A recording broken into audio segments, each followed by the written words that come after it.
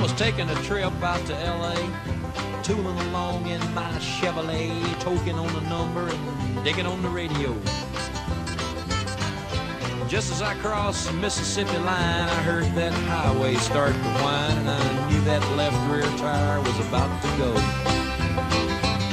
Well, the spare was flat, and I got uptight because there wasn't a filling station in sight, so I just limped on down the shoulder on the rim. I went as far as I could, and when I stopped the car, it was right in front of this little bar, kind of a redneck-looking joint called the Dewdrop Inn. Well, I stuffed my hair up under my hat and told the bartender that I had a flat and would he be kind enough to give me change for a one. Well, there was one thing I was sure proud to see. There wasn't a soul in the place except for him and me, and he just looked disgusted and pointed toward the telephone. I called up a station down the road a ways, and he said he wasn't very busy today, and he could have somebody there in just about 10 minutes or so. He said, now you just stay right where you're at, and I didn't bother to tell the darn fool that I sure as hell didn't have any place else to go. I just ordered up a beer and sat down at the bar when some guy walked in and said, who owns this car with the peace sign and the mag wheels and four on the floor? Well, he looked at me and I damn near died, and I decided that I'd just wait outside, so I laid a dollar on the bar and headed for the door. Just when I thought I'd get out of there with my skin, these five big dudes come strolling in with this one old drunk chick and some fellow with green teeth. And I was almost to the door when the biggest one said, you tip your hat to this lady, son. And when I did, all that hair fell out from underneath.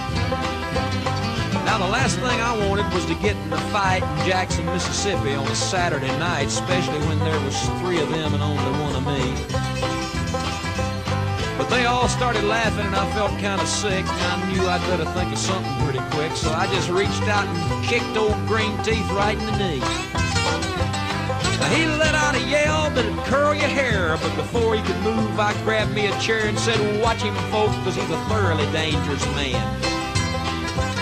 Well, you may not know it, but this man's a spy. He's an undercover agent for the FBI, and he's been sent down here to infiltrate the Ku Klux Klan. He was still bent over, holding on to his knee, but everybody else was looking and listening to me, and I laid it on thicker and heavier as I went. I said, would you believe this man has gone as far as tearing Wallace stickers off the bumpers of cars, and he voted for George McGovern for president. Well, he's a friend of them long-haired hippie-type pinko fags. I bet you he's even got a commie flag tacked up on the wall inside of his garage. He's a snake in the grass, I tell you guys. He may look dumb, but that's just a disguise. He's a mastermind in the ways of espionage. They all started looking real suspicious at him, and he jumped up and said, Now just wait a minute, Jim. You know he's lying. I've been living here all of my life. Brother John Birch, and I belong to the Antioch Baptist Church, and I ain't even got a garage. You can call home and ask my wife. Then he started saying something about the way I was dressed, but I didn't wait around to hear the rest. I was too busy moving and hoping I didn't run out of luck.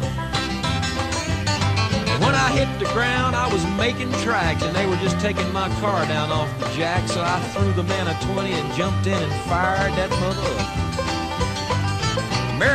Andretti would have sure been proud of the way I was moving when I passed that crowd coming out the door and headed toward me in a trot. And I guess I should have gone ahead and run, but somehow I just couldn't resist the fun of chasing them all just once around the parking lot. Well, they're headed for their car, but I hit the gas and spun around and headed them off in the pass. I was slinging gravel and putting a ton of dust in the air. There stepping and fetching like their heads are on fire and their asses is catching, but I figured I'd better go ahead and split before the cops got there. When I hit the road, I was really wheeling, had gravel flying and rubber squealing, and I didn't slow down till I was almost to Arkansas. Well, I think I'm going to reroute my trip. I wonder if anybody'd think I flipped if I went to L.A. via Omaha.